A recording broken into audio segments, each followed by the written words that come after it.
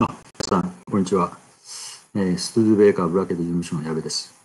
あのー、今回はですね、えー、っと、ファイナル教育、えー、これを受けた時の、えー、対応、これに関してですね、あのー、まあ、あの毎回ですが、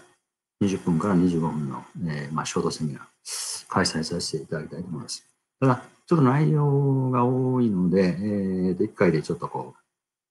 無理みたいな感じなんで、残りの部分は次回に回したいと思います。それではよろしくお願いします。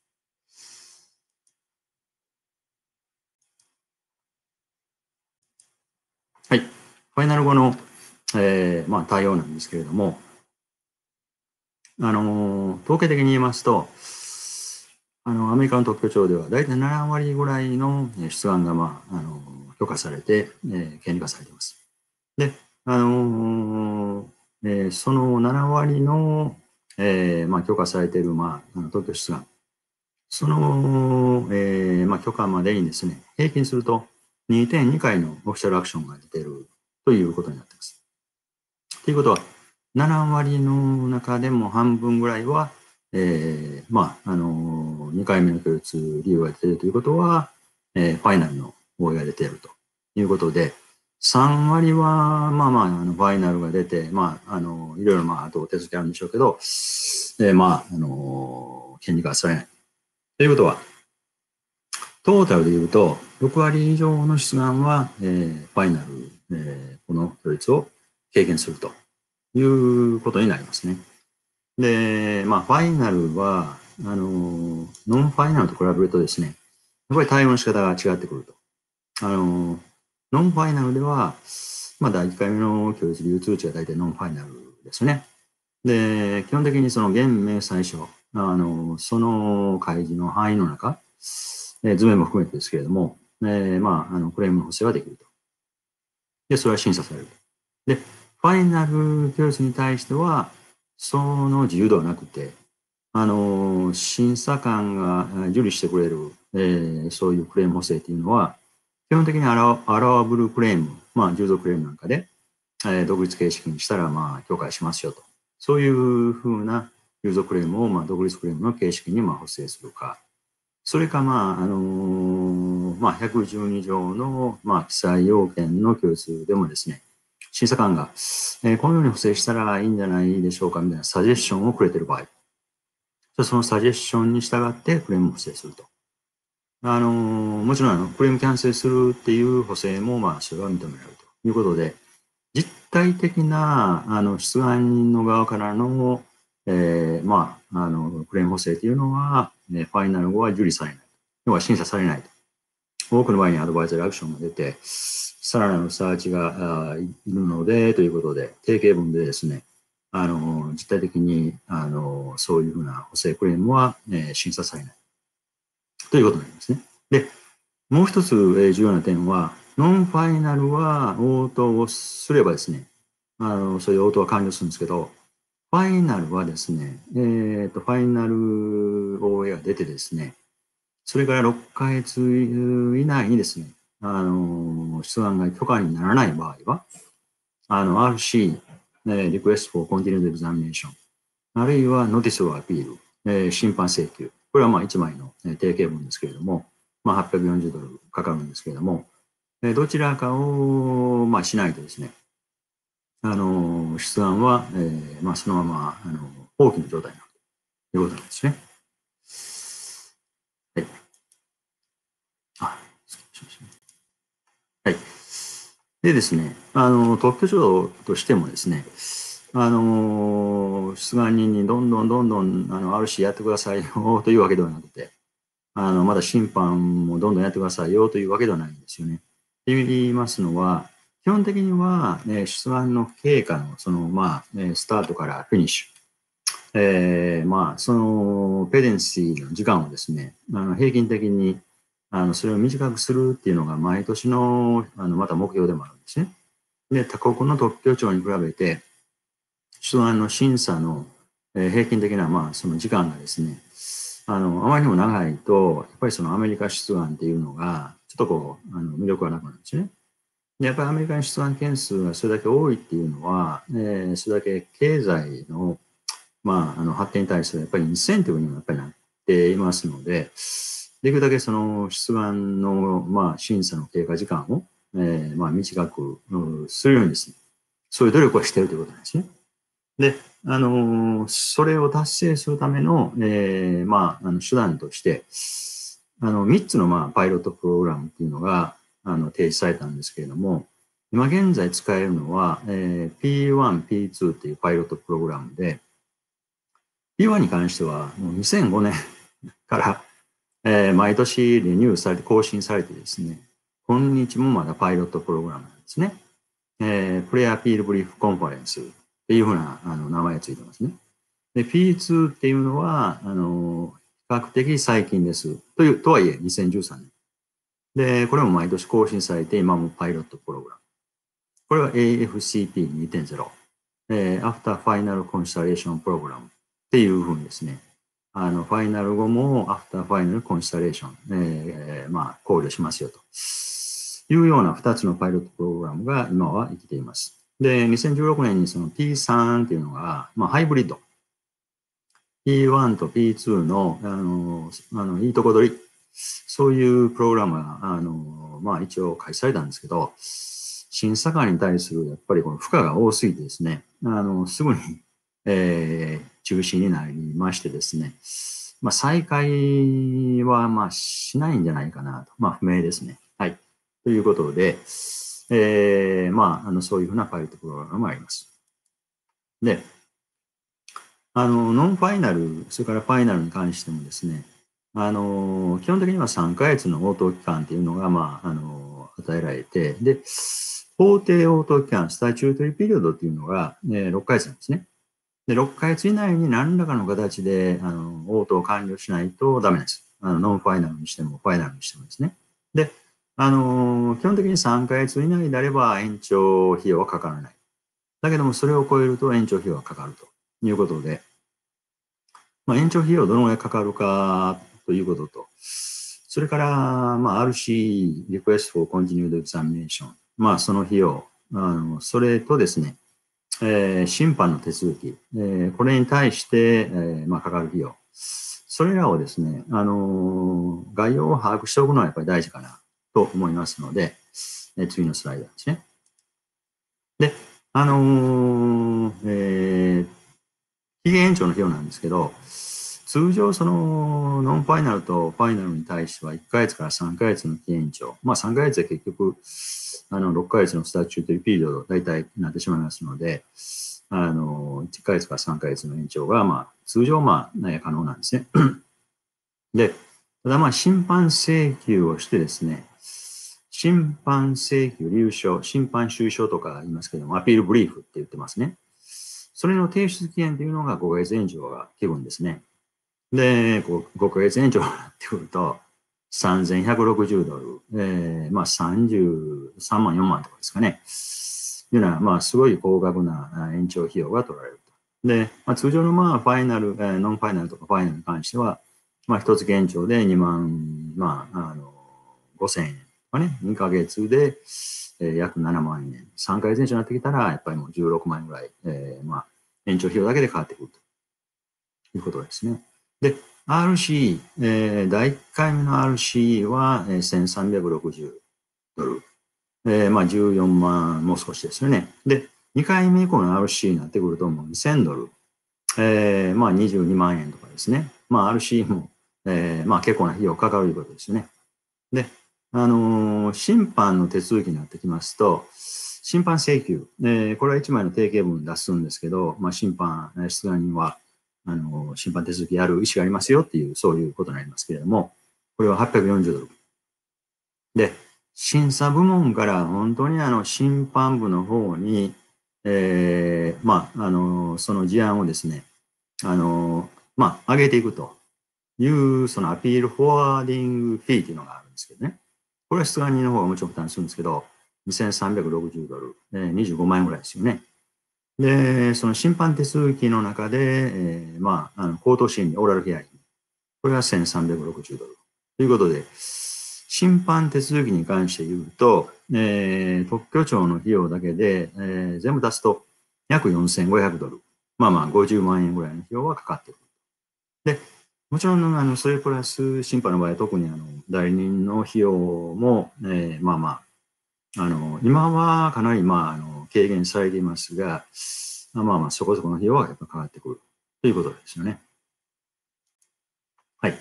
で、あの、ファイナル後に、えー、何ができるのか、出願人がですね、いうのを、あの、一応考えられるのは7項目ぐらいあるかなと思います。で、インタビュー。出願人側には、ファイナル後はインタビューする権利はないんですけれども、えー、まあ、ほとんど多くの場合に、えー、インタビューは、まあ、あの、受理される。あの、審査官 OK してくれると。ただ、まあ、30分という、まあ、時間の枠なんで、出願人側がそのインタビューリクエストする時にですね、もう7つも8つもそういう論点、イシューをですね、あの、入れている場合のですね、これはもう到底そのインタビューでは解決できないということで、あの、まあ、拒否される場合もありますね。二つ目としては、あの、今でも多いんですけど、RC なしでまあ応答すると。で、アドバイザリーアクションで何かその、えー、ヒントを得ようというかですね。まあそういう場合もありますね。で、RC を伴って、えー、まあ、あの、応答しますと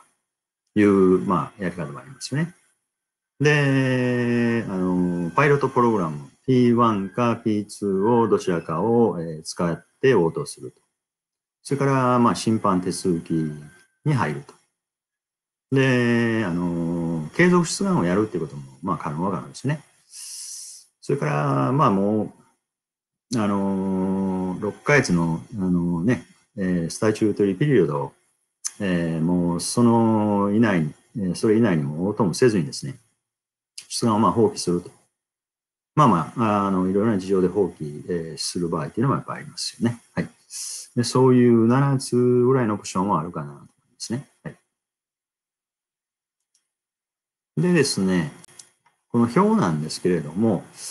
えっ、ー、と、横軸一番上の方なんですけれども、で、縦の方ではですね、一番左側のコラムですけれども、各そういう手続きが、あの、あの、名前が、あの、リストされていましてですね。で、横軸の方では、その、あの、時間的なまあ制約、それから6ヶ月のスタチュートリピリオドっていう法定期限があるんですけど、その法定期限の、えー、まあ、いわゆるそのクロックを、えー、止めることができるのかどうか。例えば、ノンファイナルだったら応答するだけで、その、えー、6ヶ月を、あの、まあ、計算している時計があるわけですけど、えー、その時点で止まるわけですけれども、ファイナル、あの、RC しなかったら、ずっと時計は動いてるんですよね。で、そのクロックを止めることができるかどうか。で、あの、提出する書類ですね、リクラメンツ。それはどんなものかと。で、特許庁の費用はどのぐらいかかるのか。それから、who will review? 誰がその審査するのか。で、あの、どんな場合にまあそれが有効なのか。effective when ですね。で、ユニークな特徴は何なのか。あの、てなことでですね、えー、このスライドの 7, 7ページ目では P1、ね、パイロットプログラム、それから P2、それからまあ RC に関して、えー、それぞれの、えー、まあ、該当する内容をまあ、あの列記しているということですね。で、次のページは、審判手続きアピールですね。それからまあ、あの、コンチネーションアプリケーション、継続出願ですね。で、インタビュー。それからアバンドメント。ということで、あの、全部この各項目をあの説明してたら多分1時間ぐらいかかると思いますので、えー、まあまあ、あの、もしも、あの、必要と思われる方があればですね、とりあえずは、あの、あのスナップショットでですね、あの、まあ、撮影いただいたら、まあ、よろしいかなと思うんですが、あの、やがては私の、まあ、ホームページの方にも、まあ、このデータもアップしようと思うんですが、まだちょっと遅れております。はい。次のページをもし必要と思う方おられたら、えー、スナップショットでも、えー、撮られたらいかがでしょうか。はい。よろしいですか？はい。でですね、えっ、ー、とね、 example の1から example の6にかけて、タイムラインでですね、えー、まあ通常どのように、えー、ファイナル語を落としてるかっていう、まあ example をですね、あの時系列的にこう見ていきたいなと思います。で、今見てるともう15分経ってますので、 example の1から example の3、ごくごく、えー、通常のまあ応答の仕方なんですけれども、これに関して、えー、まあ、あのお話し、えー、させていただきたいなとあの思ってます。あの、 example の1では、ごめんなさいね、これ、ちょいちょいスライドがね。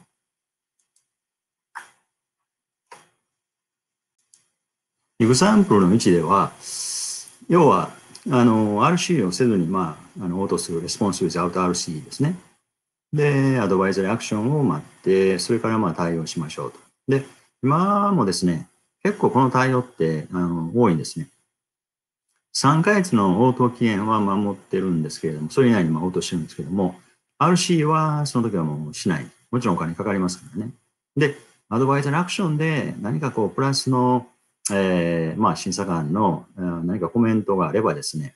えそれを盛り込んで、まあ、RC もしながらというふうな、そういう応答を今でもされているっていうのは結構多いですね。ただ、この場合はですね、あの、3回以内に応答していますけれども、クロックはティキングですよね。あの、ファイナルなんで、RC をやっていないからまだこう、あの、時計は動いとるんですよね。で、アドバイザルアクションが、あの、まあ、この例で言うと、1回延長を超えて、まあ、出ていますので、もうすでに2ヶ月の、あの、延長費用のところにも来とるわけなんですよね。で、あのまあ、アドバイザルアクションの内容を見てですね、それから、あの、応答します。で、RC もつけますと。で、この時には、結局2ヶ月の延長費用を、えー、まあ、あの支払わなければいけない。そういうことになるんですよね。で、次がですね、また、あはい。次はですね、エグザンプルの2としてですね、まあ、延長費用のですね、あの、それがかさむのをなんとか軽減しようということで、ただし、まあ、あの、ファイナルに応答するときに、RC は、まあ、やりたくないと。何らかでアドバイザリーアクションで、えー、少し、こう、審査官の方が何かヒントもらえないかということで、えー、2ヶ月以内に、ファイナル OA が出て2ヶ月以内に、まあ、応答することによって、そして、えー、仮にそのアドバイザリーアクションが何かの理由です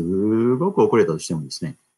あの、延長費用の、えー、まあ、計算する起算日がですね、アドバイザリーアクションが出てからの、えー、まあ、あの、時間なんですね。だからこの場合だったらアドバイザリーアクションがもう2ヶ月延長終わって、ほぼほぼ3ヶ月延長の前に出るような例にしてるんですけど、あの、もし2ヶ月以内に応答していなければ、えー、3ヶ月の延長費用と RC の費用が、あの、その支払いが必要になってくるんですけども、2ヶ月、2マンスルール、2ヶ月以内に応答していますので、アドバイザーアクションから1月以内に応答するという形になりますから、RC と、それから、えー、1月延長の費用でもって、あの、ファイナルに対しての応答をすることができるんですね。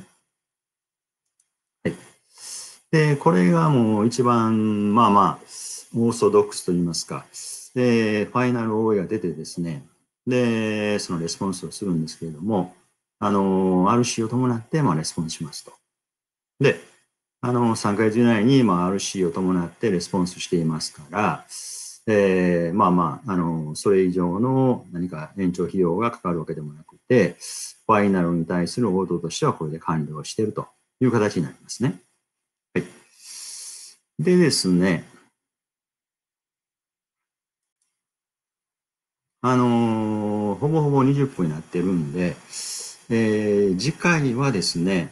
このパイロットプログラム P1、プレイアピールブリーフレビューっていう、えー、我々、あの、これプレイアピールっていうふうに、まあ、短く呼んでますけど、えー、プレイアピール、それからもう一つのパイロットプログラム、えー、P2、えー、これが AFCP、After Final Constellation Program と、それからもう正式なるそのアピール、審判の手続き、これに関してですね、えー、次回はですね、と言いますか、この続きで、あの、ウェビナーでお話しさせていただきたいと思います。それでは大体、えー、20分になりましたので、えー、皆様、えー、ご清聴ありがとうございました。